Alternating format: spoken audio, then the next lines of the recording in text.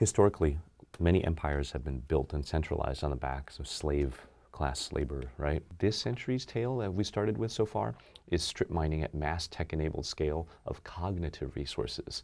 And these cognitive resources, the mass population, is the new slave labor class, building up the AI capabilities, the proprietary data pools of these mega platforms like Facebook, Google, and whatnot.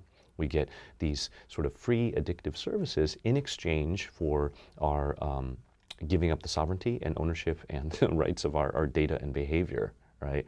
And that's probably not a fair trade, really, in the long run. And um, many of us don't even realize the cost of that trade right now.